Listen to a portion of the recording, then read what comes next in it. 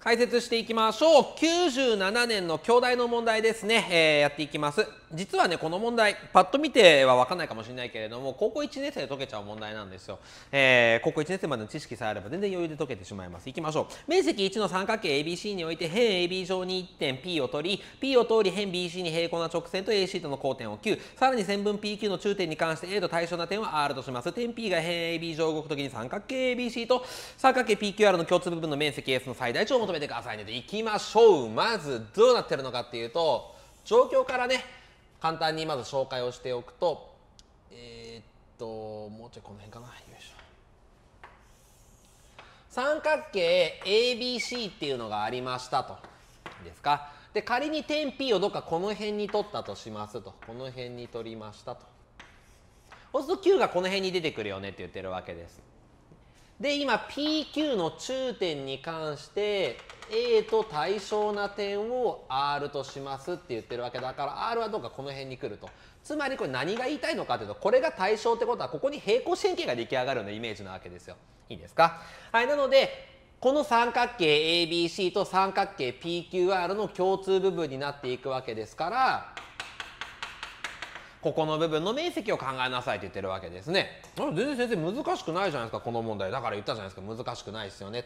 ただこれだけでやっぱ終わらないっていうのがあってなんでかっていうとよいしょとこれだけじゃね終わらない部分がですね残念ながらあるわけですよ。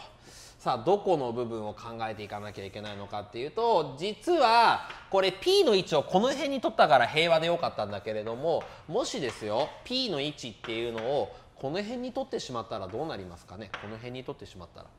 そしたら当然 Q はこの辺に出てくるとふむふむと PQ の中点この辺だとふむふむと A の対象な点だからあれれれれれれとこんなとこに来ちゃったよとこんな感じになるわけですよね。この辺に R が来るわけですよそうすると三角形 PQR と三角形 ABC の共通部分はってなっていったらこういう台形になっちゃうわけですよね。つまり P の場所によって共通部分の面積っていうのが三角形なのか台形なのかで大きく変わってしまうって言ってるわけです。これがどのタイミングで変わるのかって言われたら当然それは P が AB の中点にある時にきっと変わるはずですよね。中点にちょうどある場合ひっくり返したらどうなるのかっていうとこういう状態になるはずなわけだから P が AB の中点より B 寄りなのか A 寄りなのかっていうところが重要になってくるわけです。OK。ということでここの部分を処理するためにこういうふうに書いておきましょう。AP イコール T 倍の AB としておいて t が0から2分の1の時なのか2分の1より大きい時なのかで場合分けをして考えればいいですね。はい、えー、一応まあ高校生1年生を対象とした解説でいくとこんな感じですけどもちろんベクトルをつけてもらっても構わないです。ベクトルをつけてもらって書いてもらっても構わないけれども、まあ、つけない方がシンプルでいいかなと思いますけどね。はい、えー、ということで一応 t の範囲は今0以上1以下で考えておいてとしましょうと。かね。さて、えー、この後のお話ちょっと進めていきます。場合分けをして考えていかなきゃいけないので、こっち側行きましょうか。まず場合分けの1番目。t が0以上2分の1以下の時ですね。の時。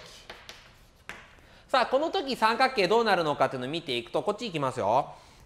実は、この面積って一瞬で出せるんですよ。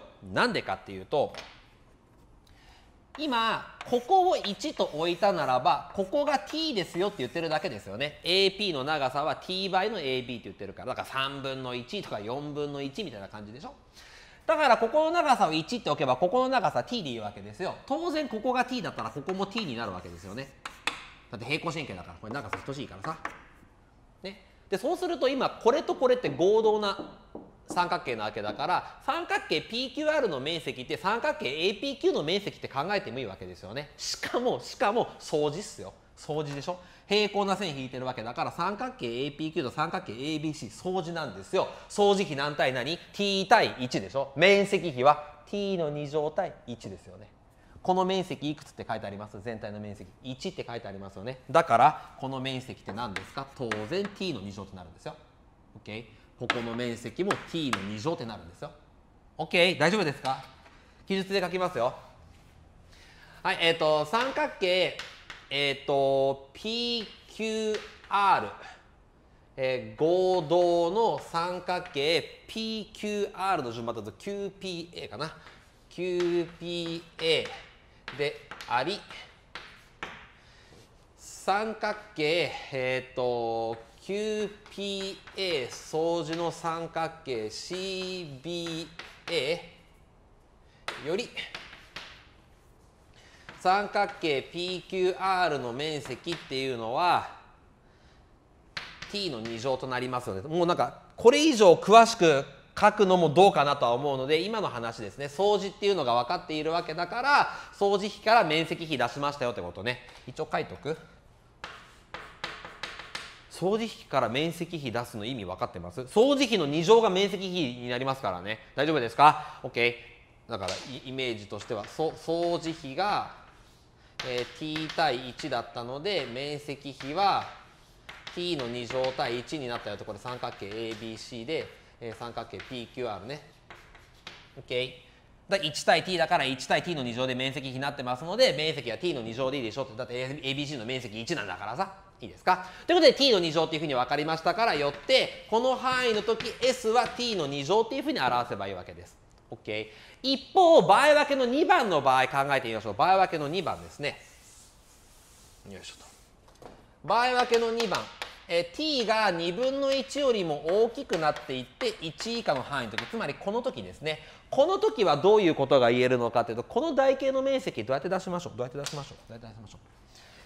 細かくちょっと分析をしていくんだけれども辺の比で考えていくと少しね、えー、と見づらくなっていくので平行線とってちょっと考えていきましょうかね。よいしょ。まあこういう工夫が大事だよな。はいいきますよ。まずここが1対 t ってことは分かっているのでイメージとしてここが1対 t になってるってことですよね。わかります ?1 対 t なんだからさ別にここの高さで考えていったっていうね1対 t ね。別にここ1と t って書いてもいいんだけどここにいろいろ書いていくと多分分かりづらくなっていくので高さで今考えてます。そうすると何が分かるのかっていうと今これってちょうど折り返されてるわけじゃないですか。R っていうのは A を PQ に対して折り返してるわけだから当然こっからここの長さも t になるはずですよね。OK 俺らのターゲットは何かというとこの台形なんだけどこの台形って結局この大きい三角形中くらいか。この三角形からこの三角形引きゃいいだけじゃないですか。ですよね。だからこの三角形もこの三角形も全体の三角形も全部相似なんだから相似比が分かっていけば面積比全部分かっていくはずなんですよ。でそうすると結局ここの三角形の面積ってどうなりますかっていうとまた t の2乗になるはずですよね。相似比が1対 t なんだから面積比は1対 t の2乗なのでこの三角形の面積 t の2乗ね。大丈夫ですか？さあそうするとこのちっこい部分どうなるんですかって見ていくとここ今さ1があって t なんだからこっからここの比って1引く t でしょ？だよね。で今ここが今 t なんだから t から1引く t 引いてあげればここ出ますよね。ここ出ますよね。OK 要はこれとこれを足して t になればいいだけなんだから、2t-1 ってなればいいわけでしょ？2t-1 と 1-t 足したらちょうど t になりますからね。OK。ということでこの三角形の面積っていうのはどうなるのかっていうとこの三角形の面積は 2t-1 の2乗って表せばいいだけですよね。相似比が1対 2t-1 になってるんだから面積は2乗でいいわけですよね。でこの三角形の面積は t の2乗でいいわけなんだから、はいえー、の時はどうなるのかっていうとあっさりと s イコール t の2乗から 2t-1 の2乗を引けばいいだけですね。ということでこれ計算していくとマイナス t の2乗プラス 4t あ嘘言ったマイナス失礼 3t の2乗プラス 4t えー、マイナス1っていうふうになるはずですね。はい。ということで、これが t が2分の1から1の範囲の時だったので、まとめるとこうなります。まとめると s っていうのは t の2乗で表される区間もありますよと。0以上2分の1以下の時ですね。ただ2分の1を超えるとちょっと業態が形が変わってきて2分の1よりも大きくなったならばこういう二次関数になりますよって言ってるわけですちなみにこのマイナス 3t の2乗プラス 4t マイナス1って平方完成するとマイナス3かっこ t マイナス3分の2の2乗プラス3分の1っていうふうになるのね。うん。なのでグラフ書いてあげるとすごく分かりやすい。グラフ書いてあげると、え、ー、とここが1にしておいて、え、ー、と2分の1をこの辺にしておくと、2分の1までは2分の1までは t の2乗 y イコール t s イコール t の2乗 s 軸 t 軸って考えておくと普通の放物線なわけ。こうやってね。こういう放物線になるわけね。で S あ t の値が2分の1を超えたらどうなるのかというと超えたら3分の2っていうところを軸として頂点が3分の1だから3分の2で、えー、と3分の1っていうのを頂点とするような放物線。になるのでここからこう滑らかにつながっていってこうなるよってことなわけね。T イコール1の時に0になるじゃない？当たり前じゃん。この t が1になるってことは全部折り返すわけだからもう共通部分なくなってしまいますからね。OK はいなのでこういうふうな感じになるので最大値ってどこですか？って言ったらここでしょ。ここでしょ t が3分の2の時に最大値3分の1っていうふうになるわけですよね。ということではい答え。T イコール3分の2の時に最大値。T イコール3分の2は別にいらないのか。はい最大値。えー、3分の1っていうふうに分かるわけですね。OK ですか？はい。じゃあこの時って t が3分の2になってたんだけどどういうことだったのかっていうと結局はこういうふうに区切った時に3等分3等分してこの辺に PQ があった時ですねこの辺に PQ があった時に折り返してこうなるんだけどこの台形になる時が実は一番面積大きかったんだよって話なわけです。OK ですか？さあそんなことが分かる結構面白い問題なんじゃないのかなと思いました。はい解説以上です。